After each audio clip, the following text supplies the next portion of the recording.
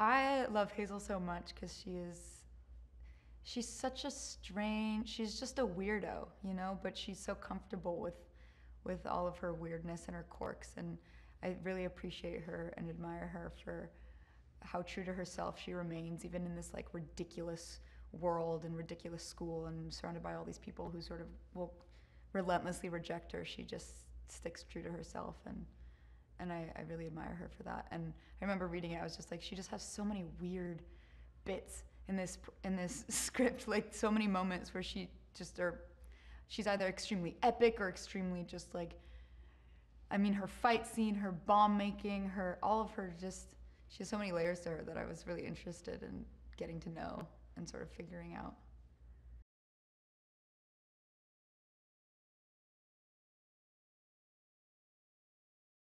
The humor is so camp and so ridiculous to and I love. And I was like, wow, they are getting away with some shit. I'm so I want to be a part of this. Like that's how I felt when I was first reading it. I was I was telling my roommates about it.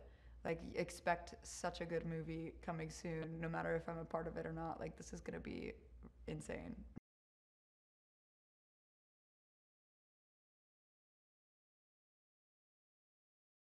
They're so funny. I watched Shiva Baby and fell in love with it because even though I was so frustrated with Rachel's character the entire time, I was like, wow, that really made me feel something. That really drew me into this like world that it, was just unlike anything I'd really ever seen because it was so funny but so frustrating but so like disturbing and also